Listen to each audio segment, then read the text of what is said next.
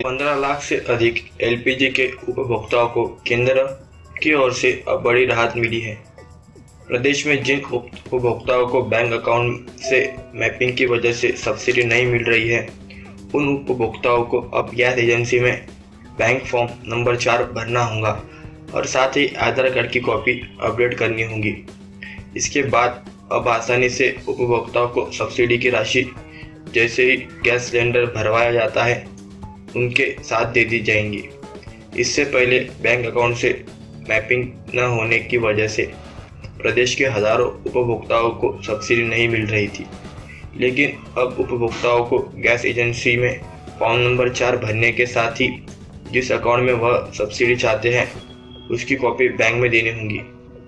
Gas subsidy के लिए अब नहीं होंगी दिक्कत। एजेंसी द्वारा जैसे यह डिटेल सिस्टम में अपडेट की जाएँगी, उपभोक्ताओं को सब्सिडी मिलना शुरू हो जाएँगी।